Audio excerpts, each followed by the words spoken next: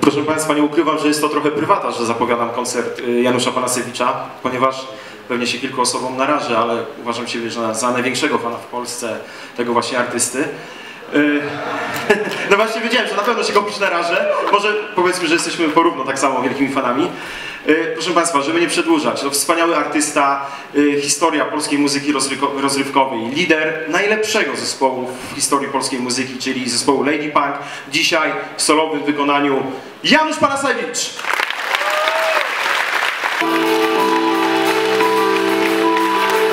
Dobry wieczór.